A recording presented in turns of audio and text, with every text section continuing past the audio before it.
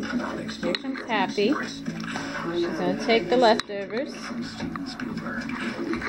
Maybe's leftovers. She, I guess she finished the other one she had.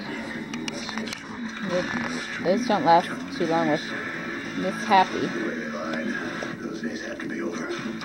Maybe's only interested in the treats attached to it. She's bringing Tabatha therapy to family businesses. I love that. Relative Success with Tabatha premieres Wednesday, January 17th at 10, only on Bravo.